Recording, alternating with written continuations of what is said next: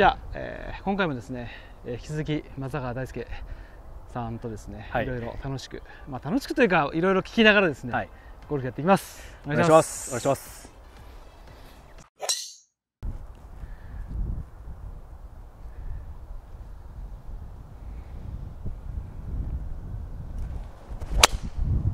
しゃあありがとうございます素敵はあいやいやいやよく言うでしょ。本当にねちょっと俺ももう一回体鍛え直してちょっと大ちゃんの土海心に並ぶぐらいの距離をちょっと身につけようと思って。もうちょっと。もっとトレーニングやろうしっかり。これ難しいんだよな。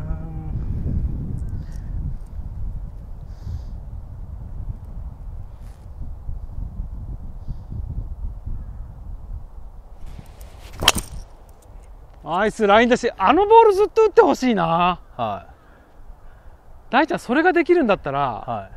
アベマ全部それでいこう。あれ多分俺より飛んでるよ。絶対。本当ですか？まあここままああのい一ホール目の球を打とうと思ったら僕絶対右の木がいやいやいやだったら気になるんで。全部今のがいい。はですげえいい球はプライベートでやっ打ってください。いはい。ねそうですね。いやあれあれですよね。あれが打てるんだったらあれがいいですよね。が打てるんだったら、はい。全クラブああやって打ってほしいです。はい。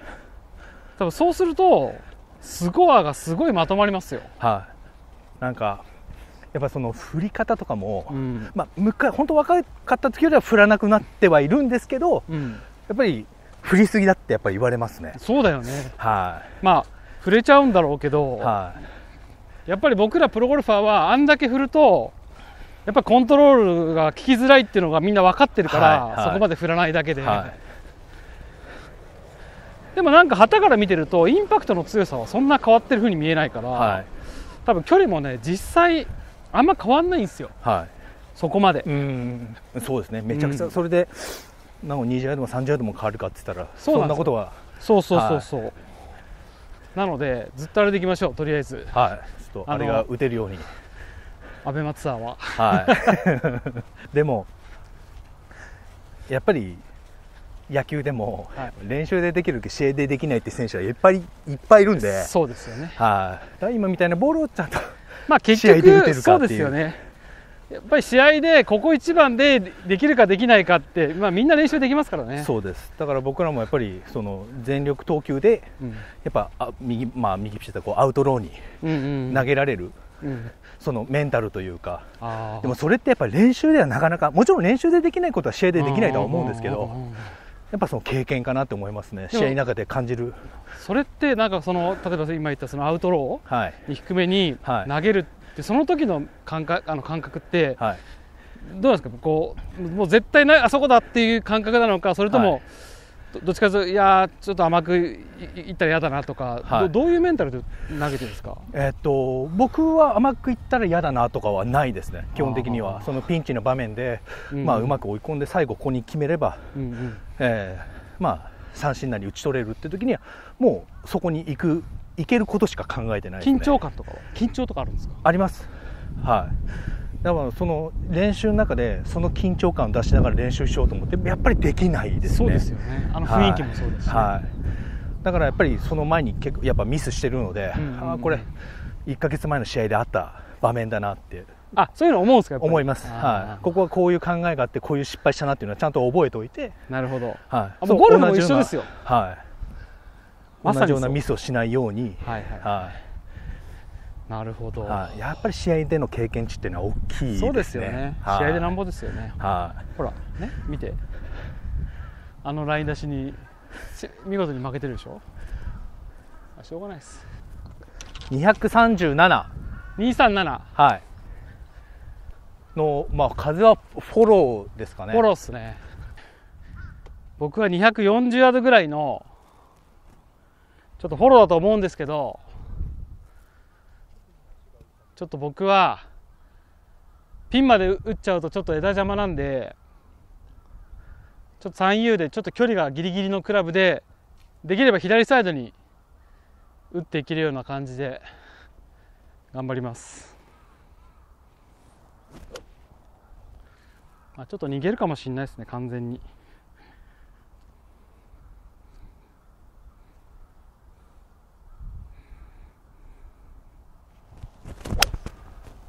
ああもう言った通り。まあ、ほぼ狙い通り。あれで左の花道からアプローチで。あすアプローチで予選を取りたい。これ大ちゃんどういうイメージでいきます？えっと高さをちゃんと出せる自信があるならまあまあまあそうですよこの木のね上からなんですけど。左足下がりですからね、はい。結構な。はい、なんで、えっとまあ、ユーティリティで、えっとまあ、左から、それがいいと思います、はい、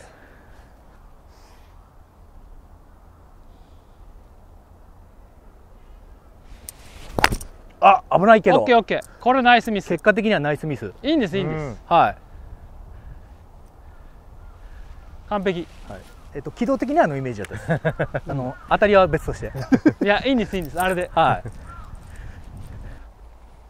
東さんはゴルフ何歳から？いや僕はたまたまはい実家が練習場やってたんですよ。あそうなんですね。そうそれで、はい。もうもう本当に3歳の時には多分もう家にあったんで、はいなんとなくもう自然と、はい。でもちゃんと覚えてるのは小学校入ってからぐらいで、は打ちっぱなしっていうかまあ練習したり。い。はでも僕実は中学野球部でいはい。小学校サッカー部で。ゴルフやってなかったんですか？ゴルフやってたんですけど並行して、ああなるほどそれはもうゴルフにどこうどっぷり使ってたってわけじゃないね、全然全然ですね、へえ。大学のゴルフに入ってはい。ようやくこうプロになろうかなって思ったぐらいなんで、へ結構やっぱり当時は競技人口もそんなに多くななかっはいたし、はい特殊な能力いらないじゃないですかゴルフって。あ例えばすごい背が必要なわけでもないし、はいはい。足速くなくてもいいし、はい。球速く投げなくてもいいし、ななんならあのなんですかねこう運動神経がいらない人。良くなくても。そうそうそうそう。はだからなんかこうひ比較的やっぱり早い段階からやってたもん勝ちみたいな。いはいはい。子供の頃からやってた人はがい。なんか強いみたいな、うーんだから僕らの高校時代とか中学時代っていうのは、はやっぱり練習量とか質よりも、はい。い、かに早く始めるかっていうのがいはい。鍵だったから、はい。え逆に野球はいつからですか？僕はチームに入ったのは小学校3年生ですね。ななんですけど、まあ、父親が、まあ、中高と野球やっててで社会人になってもあの会社のチームで、まあ、軟式だったんですけど、うんうんうん。やってたんでなんとなく父親と野球をやってたっていうあいつから始めたっていう感覚は正直なくて。あじゃあバリバリなんかこうよしプロ野球選手に育てるぞみたいな環境でやったわけではない。あ全然ですね、へはい、ーそれこそ小学校、え4年生とか、はいはい。それぐらいの時に、まあ、清原さんとか、はいはいはい。まあ、じゃあ原さんとか、うんうん。そういうの見てなんとなくあプロ野球選手はお金稼げるんだっていう。ところですかね。そこで興味を持った分か。りやすかったですもんね。野球選手ってね、はい。年俸も出ますし、はい、ニュースになってましたし。なるほど。でももう高校生の時って僕すっごい覚えてるけど決勝でねノーヒットノーランやって、はい。超最後のあのカーブですからスライダー、スライダーですめっねちゃ覚えてますよ。こんな曲がって、すごいんですから。いまだに出るから嬉しいですけどね、ね。あほら最高。はい、ナイスナイスミスでしたね。あと東さんはもう本当言った通り。そうです。もうこれがねこれがマネジメントなんですよ、はい。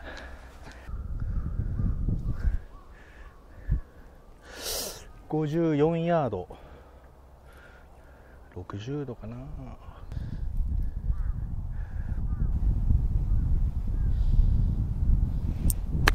ああだ振った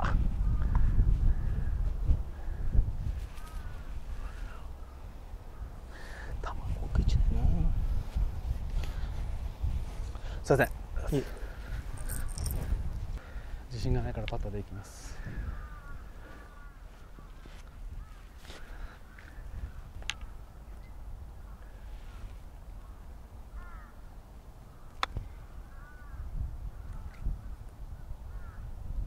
しっかり上の段、ああ最後左行っちゃうのか。左行ってそこの左が読めなかったな傾斜が多すぎますよね。はい。大ちゃんのもちょっと左出しすぎるとこっち来ちゃうね。あフックスライス。もうねスライス？なんて言えばいいんだろう。スライスだけでいいのかな？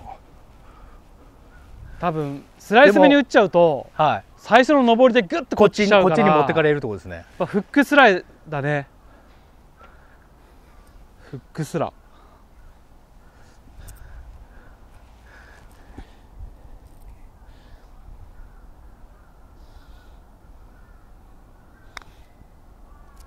いい感じ。惜しい。ナイストライ。ああ早いそっからそうなんだよね。下って登って過ぎたら下るっていう、はい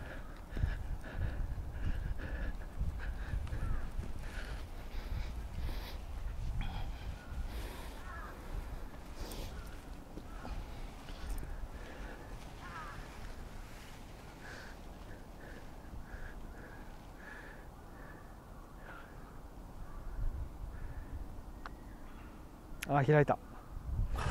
開いた。ナイスパーです。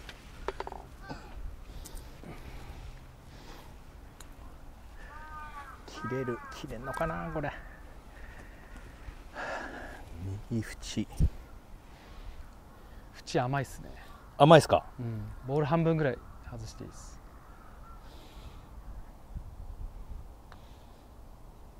完璧。ナイス。あありがとうございます。素晴らしい。縁だったら左くるくるりんぱしてましたね多分。縁狙いだった。いやでもやっぱりいいよな。ありがとうございます。なんかちょっとしたことですごいスコア出るよね。そうですね。パターが本当に上手です。こうのよりうまいんじゃない？ええ。間違いない。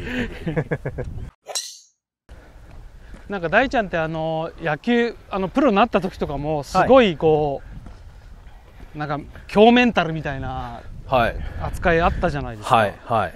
ああいうのってやっぱり性格なんですか？それとも本当は強メンタルでもなかったとか？いやーどうなんですかね、まあ、野球で緊張しちゃったけどほほとんど記憶がない。緊張しない？そうです。なんかいわゆるそのあの緊張感とか感じたりとかはあるんですけど緊張して体が動かないとか、そういうのは経験したことないですね。野球では。僕その前に剣道をやってたんですけど、はい。剣道の試合の時はすごく緊張してたんですよあれなやっぱりあれですかね。もう練習で、はい。もうややっぱり本当にやること決めてやってきてるから、はもうそれをするだけじゃないですかはっきり言って。いそうですね。だってあと野球だとその練習でうん。教えられたことはほぼできてたというか、なるほど。ピッチャーとしてもそうだしバッティングもそうだし、うん。えーとまあ、僕内野手やってたんですけどゴロの取り方とかゴロ取れるとか、うん。なんかそういうのができてたんで、うん。なんとか自分に自信があるとかそういう感じではなかったんでですけども不安要素もないってことですよね。なかったです、うん。はやっぱそうなんだそういう人なんですね。うん。そうじゃなかったらあんなにデビュー戦であの内角攻めないですよ。い 外国人ですか？喧嘩売ってるよねみたいな。フランクリン。あそうだ。さあルーキーにあんなとこ投げられたらそれは怒りますよでも見てる方は相当爽快でしたけどね。あ 本当ですか？やっぱああいうのって大事だと思うんですよ。人の印象に残るし、うんだしあの僕はそその意識あまり意識することなくこのバッターのインサイドうん。攻められましたけどやっぱり、うん。あれなんで攻めれない人って何なんで攻めやっぱりぶつけるのが怖い。ぶつけてしまうのがそれ怖いっていう。は別にぶつけてもいいと思ってやっぱりそういう感覚なんですか？あります。あはい。あのーもうぶつかっちゃったらごめんなさいって、うんあの心の中では思ってます、ね、はい、それを当たらないようにいくと大体甘いとこ入ってホームランとか打たれちゃうんで。あーなるほどなるほどなるほど。はい、それはもうまあ、もちろんその頭狙うとかはないですけど、うんうんうん。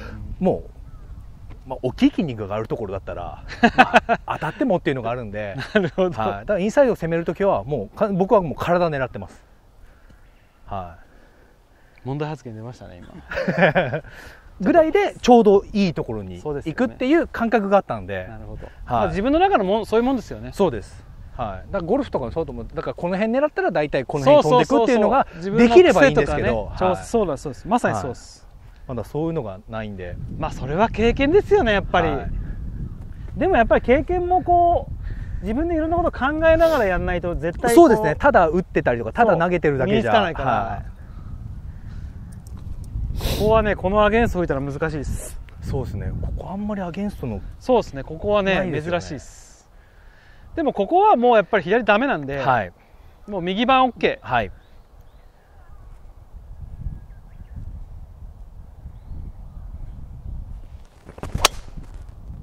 はあ。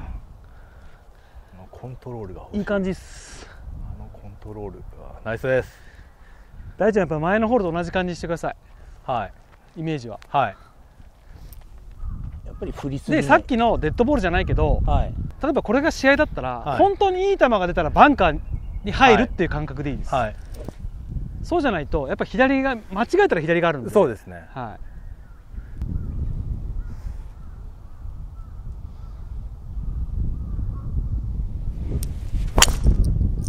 そうだからこれでいいんですよ。はい。完璧。ちょっと思ったよりは左に出ちゃったんですけそうどしっかりとはい。もうバンカーに入れるんだっていう気持ちで打ってるから、はい。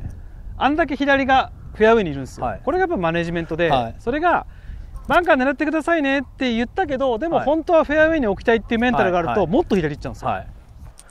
で100点をどこにするかっていうのをやっぱ打つ前にしっかり決めるのははい。超大事です、そうですね。そうそうそう。だからやっぱりましてこういうどっちかが OB とか池のホールっていうのは、やはい。っぱもうフェアウェイをきっちり捨ててもいいです。はいはい。ちゃんと捨てられるとミスった時にそこに行かないんで、はいそうですね。僕らやっぱ普段そうじゃないんですよね。そういうでも攻め方って考えがないじゃないですか、はやっぱりね試合でこんましてそのツアーで4日間でアベマ3日間あるんで、い。は3日間のスコアを重ねなきゃいけないんで、いはい。やっぱりねこういう OB とかっていうのはダメージでかいんですよ。はい。そうですね。避けまくる。はいうんうんうん野球人松坂大輔さんからアマチュアゴルファーにおおにこうやっぱ緊張した時ははい。こういうメンタルでゴルフやるといいんじゃないっていうなんかあれば。そうですね。なんかあのーまあ、緊張というかやっぱり僕もなんかこうマウンド上でこうそわそわしたりとかうんうんうん。することがあるので、はい。なんだろうこのふわふわした感じとかはいはいはい。あるので、その時は一旦こうマウンドを外外れてうんあのスタンド見ますね僕は、はい、スタンド見て聞こえるわけもないんですけどあの今こっち喋ってこっち見て喋ってくる何言ってんだろうとか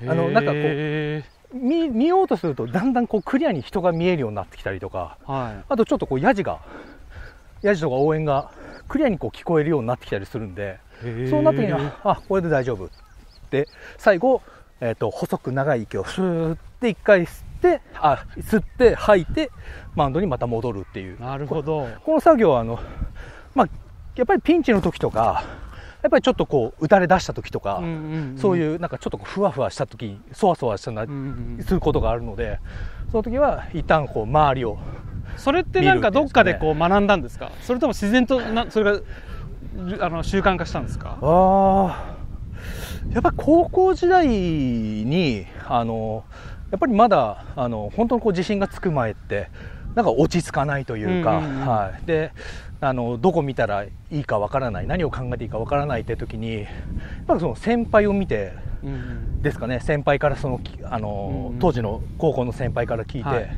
こういう時どうしてるんですかって言った時にマウンドを降りてはい。まあ別にスタンドでもいいし別に守ってる選手たちの顔でもいいし、がちょっと見られると落ち着くからって。だからその見る選手を決めててもいいし、なるほど。はい、なんかそういうとこ部分でのこうルーティンも決めとくっていそううですかね。ね。でもすごい大事なことですよね、はい。はい間を外すじゃないですけど、ね。はい。嫌な間間を。嫌な嫌だなって思った時にそのままいかないっていうのはああ大事ですね。あの考えてましたね。必ず一回外すっていう、はいまあでもアマチュアゴルファーの人はですねやっぱりすあの外しすぎてあのスループレーにならないようにだけ気をつけてもらってね。ねゴルゴルフはそうですよね。そうそうそうそう、まあ日本はないんですけどアメリカだと今ピッチクロックってあ時間決まってるんであ,、ね。まりそれはできないんですけど140の上げ。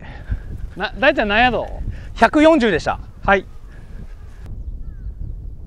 150のアゲンストっすね。まあこの東京クラシッククラブの4番ホールで1234一番難しいピンなんでましてアゲンストつま先下がり、まあ、しっかりピンの右に乗せられるようにしたいですね。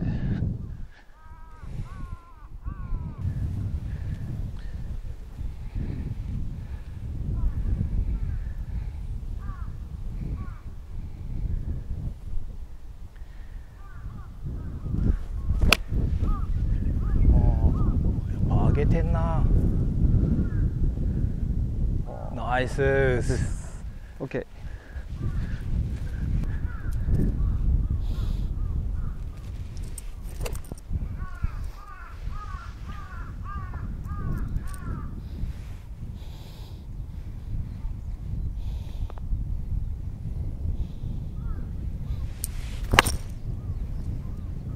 結果オーライ結果オーライ。飛んで飛んで飛んで。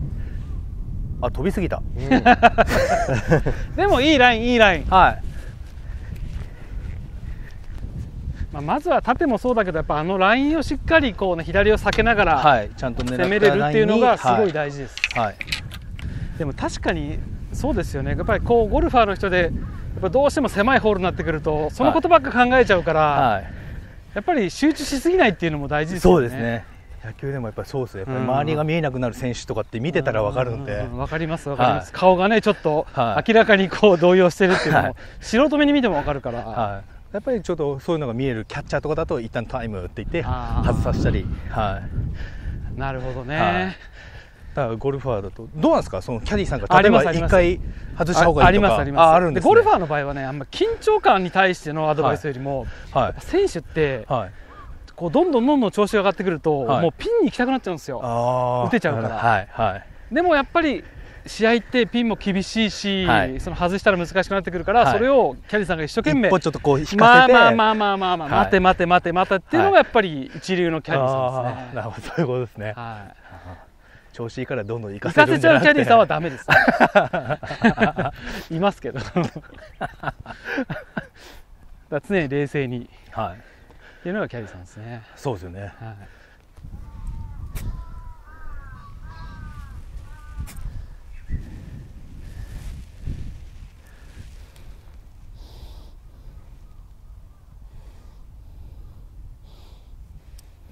まあうん。まあちょっと止まんないやしょうがない、うん。十分十分ですね。うん十分十分です。はい。東京クラシックグリーン良くなったな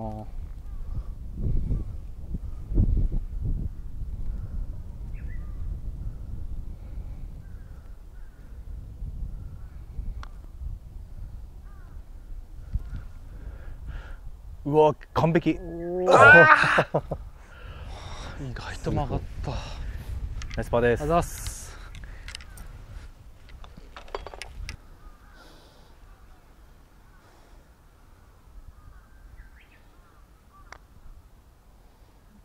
全然曲がんない。あしょフックフックフックでそっち。OK です。それフックラインなんですよ。深谷さんもうスライスだと思いました。スライス。難しいっすよ。ではい。僕のがすごい速かったじゃないですか。はだからやっぱりこういう傾斜がいってんすよ。普通ピンの左側からはスライスっていうねイメージがあるから、い。それがこの東京クラシックのそうそうそう。グリーン。読むの難しいところはいということで、え2ホールはですね、えーメンタルですかねについていろいろお話を聞かせていただきました、えー次はですね、えーもう見てわかるように見てくださいこの体の厚さ。僕も実は結構今767キロぐらいあって普通の人より全然でかいんですけど多分めちゃくちゃ細く見え映ってますよね僕ね。え大ちゃん体重今何キロ？ですか今90キロぐらいですね。で現役の時は94え？と95キロ現役の時の方がもうある？そうですねありましたね。あまあ、はい。これはちょっとごめんなさい。次のコーナーで。あのいろいろ体についてちょっといろいろ聞いていきたいなとはい。思いますんで、また見てください。はいありがとうございました。ありがとうございました。今回の動画見ていただきましてありがとうございました。どんどんどんどん、えーコメント欄にですねやってほしいことを、えー書いていただければ、えーもう随時いろんなことにトライしていきますのでよろしくお願いします。チャンネル登録とですね通知もオンにしていただいて、え次回もお楽しみにしてください。